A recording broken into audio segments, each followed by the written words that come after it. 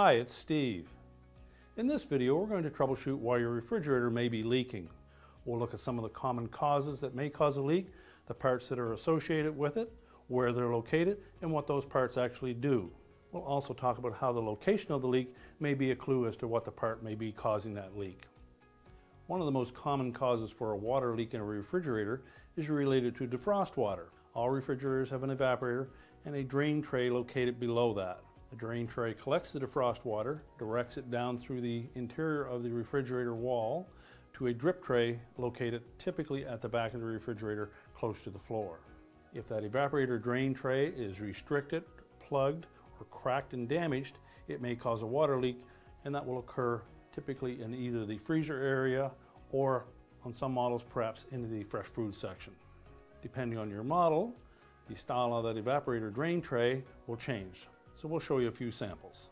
Now on a typical top mount refrigerator, we have an evaporator that is either located on the back wall or on the floor of the freezer area. Beneath that evaporator will be a drain tray. Below the evaporator will be a heater, and that's what melts the frost on that evaporator coil, turns it to water, and the drain tray will collect that water. In some cases, it will direct it down into the fresh food section where the housing will have a drain tube that directs it out through the back of the refrigerator to an exterior drain tray. On other styles of top mount refrigerators, you may find a drain pan that is very similar to the style that you would see in a side-by-side -side, in that they have a small opening for the drain water to exit. Now, typically on this style of refrigerator, there will be internal tubing located inside the foamed in back wall of the refrigerator that runs directly from the bottom of this drain pan right through to an external drain pan located at the rear of the refrigerator near the floor. Now on this model with the large hole in the evaporator drain pan, it comes down through that freezer floor into the fresh food ceiling. You'll see that large opening.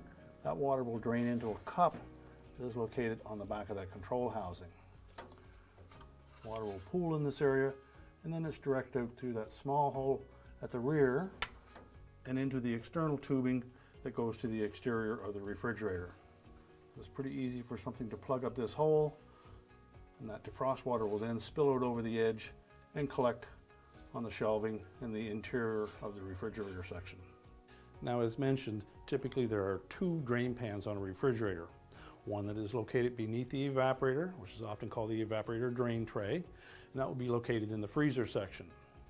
And there is some associated tubing that will direct that defrost water to an external drip tray or drain pan, typically located at the back of the refrigerator next to the floor. Now if the location of your water leak is below the refrigerator and is pouring out underneath the front access panel, you may suspect that you have a problem with the rear drain pan or the associated tubing that drains the water into that pan. Now in this style of top mount refrigerator, it has a static condenser and therefore there is no airflow over the drain pan. So the drain pan on this one is located right on top of the compressor where the heat of that compressor will evaporate the water internally in that tray. The tubing that directs that water from the fresh food section of this particular model. Exits over on the left here, has a little bit of a P-trap in it, and then drains into the top of this.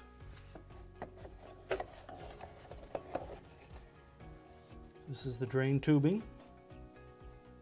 And if that pan is cracked, that water will run out the bottom of it and probably will pool directly under the refrigerator and may flow towards the front.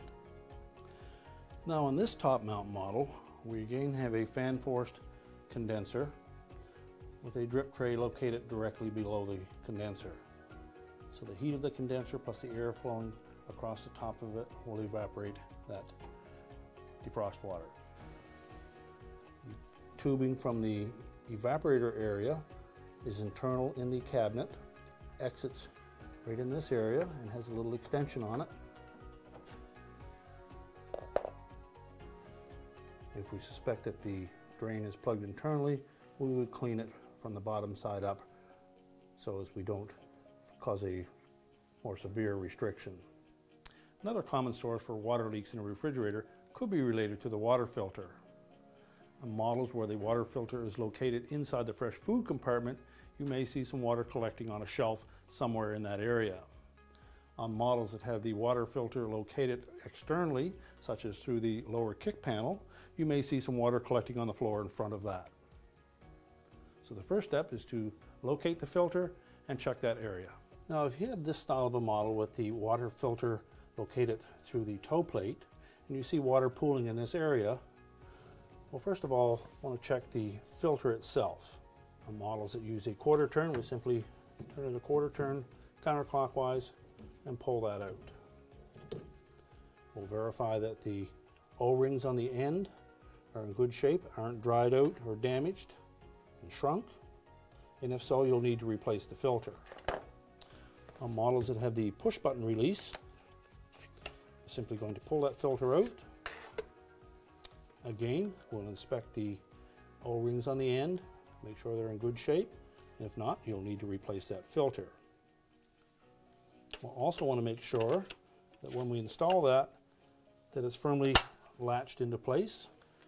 Now if that doesn't resolve our leak, we may suspect that we have a problem with the actual filter housing.